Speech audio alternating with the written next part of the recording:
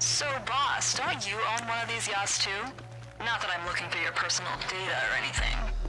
Hey, good luck with that. I mean, they nice and all, but from what I've seen, shit, yachts bring they all kind of fucking trouble.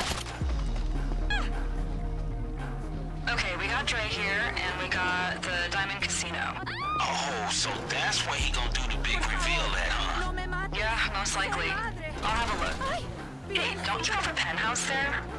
Wait, got a penthouse and a super yacht?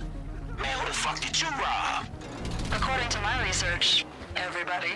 Ha! now that's why you my motherfucking partner.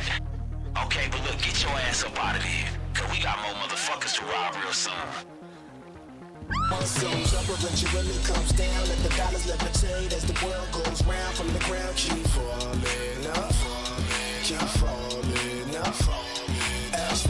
the ceiling so high, I can't feel it unless I put my hand on it. I could kill it if my money keep falling up, keep falling up. I hit you with no delaying, so what you saying, yo? Last nigga that tried to play me was on the radio.